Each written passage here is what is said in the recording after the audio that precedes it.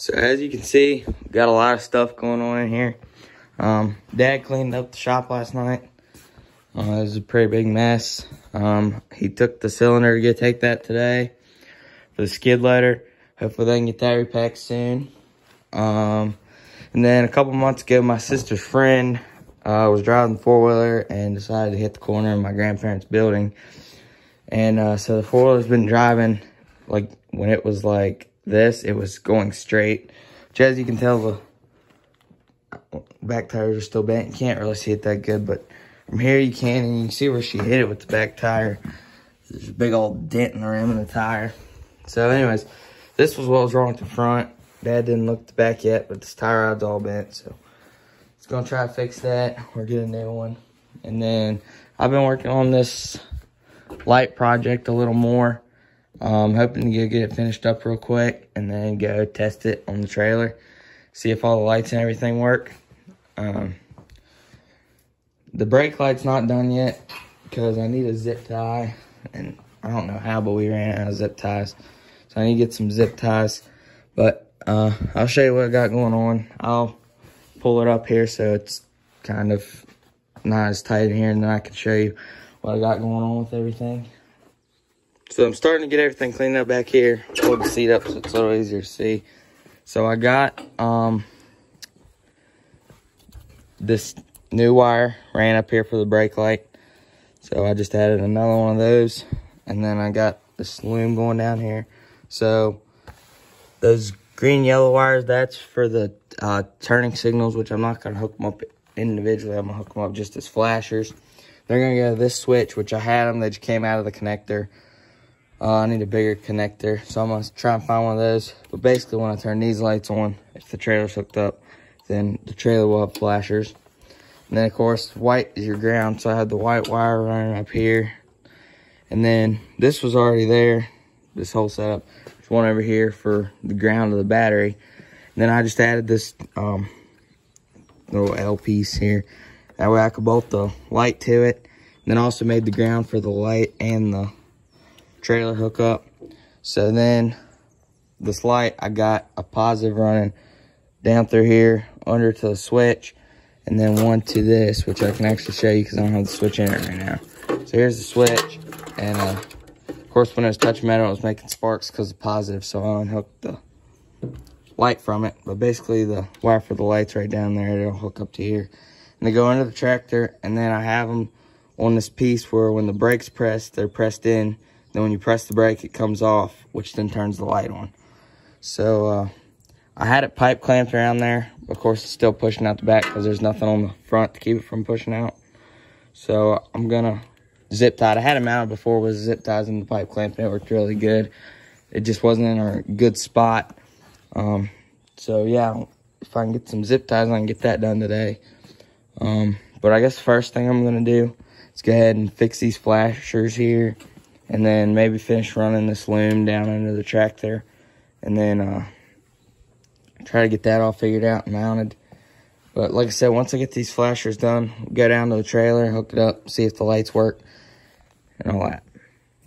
Got this wire reconnected here. Uh, got it in there pretty good. So before I worry about the brake light, I want to go down and uh, test that out on the trailer. Make sure all those lights work. Should have tail lights and uh, flashers. I didn't end up wiring the brake light up to this just because wiring the brake light up to this, number one, I'm not going to haul the trailer that much. Number two, it just, it was a lot of extra wiring and I don't really want to do a bunch more wiring. Plus there's already a bunch of wires going everywhere. So I figured flashers was good enough. Don't need the brake lights. It's no big deal. So let's go test it out.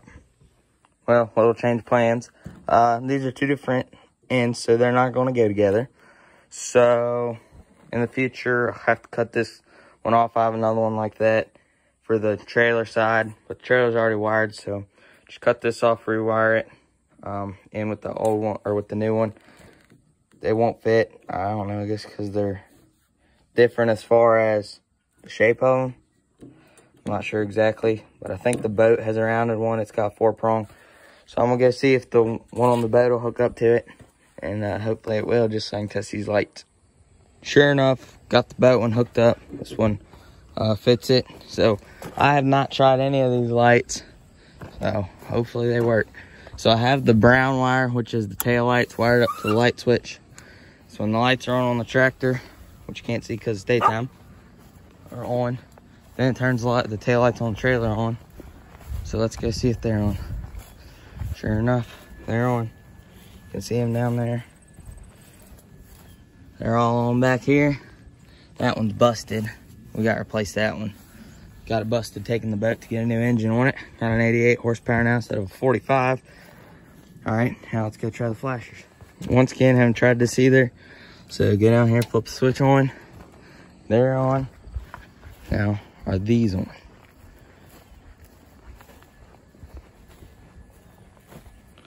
Okay, they're not. Tail light's still on. And uh, they're on, but they're not flashing. So, let's see. I might have them wired differently. Let me uh, mess around with the way they're wired on the switch. Well, pretty disappointing, but what I figured out is the wire I have come from the power, number one, it just came unhooked from that. That doesn't have to do with the trailer. It's basically the trailer lights. I just have them going straight to the switch. There's three prongs on the switch. I have power to one. I have a wire to this relay as one. And then I have one for these. So basically when the wire comes off of here, I have a wire going from the power straight into there. I have um, the wire from this right here going in there from this relay that makes them blank. And then I have the wire for the lights going to the relay. Then I have these in there. So I thought putting to the switch, make the relay go through it.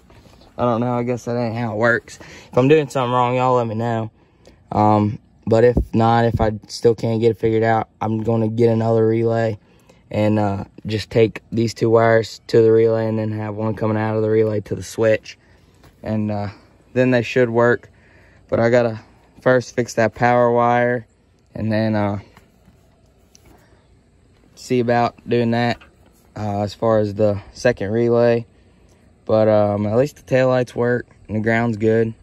Um, then this brake light, like I said, I'd like to try and get that figured out today. Then at some point I'll have to put that new end on the trailer. So it's kind of a project I didn't expect to be this much work, but it's not really a big deal because I'm in no hurry to get it done. And if it doesn't work, what does it matter? Just to have a couple extra wires sitting here. Anyways, I'll take this back up to the shop and uh, try to finish working on it. Wanted to show you the uh, hookup I have for the trailer. So I bought this kit right here. Came with the trailer and the truck end. So uh, this is the truck end that came on here and then here's the other one. So I could just cut um, the other one off and uh, wire this one on there and it'll be good as new. Um, but that's not a today project, that's a different day. Got this power wire hooked back up. I'm not too fond of those kind of connectors. They're kind of crappy. Anyways, um, so all that's good. I'm just going to leave it for today till uh, I switched them around all the possible ways. And I could just rewire these and I could rewire this wire up to um, the one for the lights here. But I don't really want to do that. It looks good just having the two, and then I have to use butt connectors because this wire is not long enough. It would only go to about right here. So I think I'm just going to get another relay and set it down in there and uh, make it a real easy job that no one will even see. Like I said, I got to get a relay for that. So that won't get done today, but no hurry. And then, um, yeah, I'm going to get started on this brake light again. Well, got it done. I got the brake light finished. So, uh, get around here to the other side of the tractor. Show you what I got going on. Kind of tight in here. Supposed to rain today. So I, that's why I'm not just leaving this out. All right, so what we got going on here is you can see my switch right there. It's a push button switch, so when it's pressed, it's off. When it's not, it's on. So you can see right there. I don't actually know if you can see it, but you can see up here, this square piece right here is part of the brake, and the button is pressed up against it. So when it is moving, the button comes out, as you see right there. Button comes out, which turns the light on. So I got a pipe clamped around that, and then I have it zip tied to the pipe clamp. Pipe clamp, let's not fall off, just gotta make sure that always stays tight, which it is very tight. then uh, didn't want to put too tight there. That's how I broke the last switch. And these zip ties are holding on that way. If it would come loose, the switch isn't to fall out and drag the ground. And of course, I got a power switch and one to the light. So as you can see right now, lights off.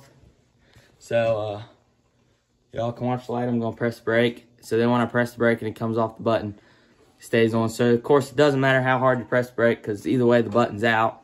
So uh, light will stay on for that. And then when you press the brake, I'll actually have to prop you up to show you this. As far as the park brake. Let me get you propped up and then I'll do that real quick. All right, so you can see the uh, light here. So the way I have the switch attached, it's attached to the park brake handle. So when you press it, obviously the light will be on, but then when you set the park brake and you pull it up, it pushes the button back in that square piece. So now the brakes, park brake's on, but the light's off, that way it won't drain the battery. So then you take the park brake off and it comes back down, but then when you let the brake in, light's off. So, as long as that switch will stay in place, it'll all be good. I'm going to get um, this loom put on some more. I got it running right here. That's I just need to finish running it under the tractor, all that stuff. Um, but anyways, I'm glad to have that brake light done. It's been irritating me. So now that's done. And then uh, last thing we just have to do is the green yellow wire once we get a um, another relay for it. But uh, I'm gonna call this done for the day. I'm gonna go inside, eat some lunch. And I gotta go somewhere. So it's nice to get this done today. Well guys, I know it's been a minute. Uh, I know I didn't post a YouTube video last week. Had one, but I was pretty busy. So uh, hoping to post that today. Same day that I'm doing this. Um, so here's the Oliver. As uh, you saw the last stuff, so I've been doing some stuff to it. So first of all, got the exhaust painted again. Depending on how you look at it in the sun, it looks kind of crappy, but painted it gloss black again. But um, I think my dad was going to try to find a straight pipe for it. Take that muffler off. Um, he got a steering knob. It was red, so I painted it white because red didn't match tractor at all. Uh, so anyways, missed spot. Uh, there's steering knob. Then finished the trailer light hookup right here. So basically, went to Ace, got another relay. You can see down in there. I didn't support it like that one, but whatever. So I ran those two wires into the relay and then back into the switch. So uh, those work now. This video is kind of long, so I'm not going to plug it back up to the boat or anything, but um, those work now. And then we uh, painted the back rims so if you remember, these were pretty rusty, crappy looking. Um, so pulled them off, sanded them down, painted them white. Um, so not 100% done. These are supposed to be green, but we don't have any Oliver green. But uh, I was just worried about the rims. So you can see it's here, it's a little dirty. I'm gonna go give this thing a bath and then miss some spots. We ran out of paint last night, so Dad's gonna bring more home. We're gonna touch up all around the bolts and um, clean it up. Well, I'll clean it up today and we'll see any spots we missed. But both of the insides are done. So that done, that one's done. And then this one we really need a lot more paint on. This only got one coat. But, uh, so yeah, we're going to finish painting that later. And, uh, hopefully show you what that looks like later. Put on post video before he gets home we do this. I'm trying to think if there's, uh, anything else. It's basically the fair is next week. And uh, me and two of my friends taking our tractors to the fair. So um, trying to get it all cleaned up and looking good. So um,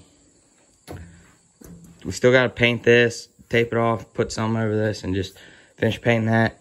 Once again, I'll do that. One Dad gets home with the paint. And then uh, he'll help me finish painting the rims. We'll pull his tape off. And then I think should be good to go. I am not going to put the three point back on um, to go to the fair just because I don't really need it on there. And then uh, I'm going to finish, or I'm going to tape up these wires. They're kind of ugly and give it a bath. That's just my two goals for now. And clean all like that crud out of there. But yeah, like I said, I got all the wires loomed to the brake light and up to the hood and uh, taped around them. So everything's looking good on here. So I'm gonna tape up this thing and then go give her a bath. I'll show you what it looks like when it's done. She's finished. So dad actually got two cans of paint, had them at work, and he came home on his lunch break and brought them. So I just had some touch up to do on this rim. That one looks good. Did all the touch up on the back, which it's the back. It's not gonna be seen anyways, but I still touched it up. That back's pretty good. I've gotten most of it, at least most what I can. And then it is this. This is probably the tire I'm least happy with. Um, didn't get any on the tire, which is good, but fortunately, I uh, had to do a second coat once the tire was already back on. So as you can see, there's some white around that green, which I can uh, just take the tire back off sometimes, get some green and go around it, and it's not really a big deal. And I didn't paint these nuts. Like I said, they're supposed to be white. Um, taped off the valve stem. But I mean, overall, this one still turned out pretty good, I think. So, I mean, just around here, it's not really the best, but I mean, I think I think it's all right. And maybe in the future, I can do more if I need to. And then um, this front one, if you remember, I painted this one before we got a new tire put on it. So from taking it to the tire shop to put a new tire on it, they uh, got it pretty dirty. So I was thinking about taping that one and uh, repainting it, but I don't know. I decided not to for now. Maybe later or different day. I'm not sure if I'll do it later. I might do it for the fair. Um, taking the tractors tomorrow to the fair. But uh, then this one, the inside course got dirty, and there's the outside I touched up. Uh, none of them are really perfect. Two back ones are the best, obviously, because I just did them. Two front ones. I mean, it's white paint, so number one, it's going to get dirty over time. It's going to fade over time. It's going to get rust on it. It's never going to look really, really white and pretty. It's always going to have something wrong with it. But, you know, keep it washed, and then, you know, every so often, just touch them up, put some more paint on it. So the only thing still left to do is this grill. But I gotta get ready to go here in a little bit. So uh, I'll do this later tonight. Tape this, put a tape around it, and then put something over top the hood just so you don't get all those white specks, which I've already gotten. Um, and finish painting this grill, make it look real nice. Put something in there so it don't get on the radiator. But yeah, I'm happy all the rims are painted. I think it looks pretty good. And this video is getting kind of long and I ain't really done nothing except talk about the tractor and do these lights, which all look really good. So uh, guess I'm gonna wrap this video up, but uh, there it is. Last thing, I'm sure you noticed there's kind of a film around here because you can see where I had the tape line and then where there wasn't. And of course, a little bit just got on there. So actually, me and my friends are gonna shine our tires later. Two of my friends taking their tractors, like I think I already said. I ain't gonna stay up. Uh, there's some tire shine down in there under the paint. So uh, we'll clean these tires up later. Of course, get all the poop and everything off of them, dirt. Then we'll shine them up, make them look nice. Think might put a little bit of wax on here on the tractor. But uh, other than that, got these lights done too. Got a zip tie around there, got an extra piece of loom there. No more loose wires hanging down. So uh, I'm pretty happy with it, pretty impressed, proud of it. And uh, I'm excited to take it to the fair. Alright guys, like I said, that's the end of this video. Sorry about not having a video last week and sorry this one's late. But uh, here it is. Thanks for watching. I'll see you next time.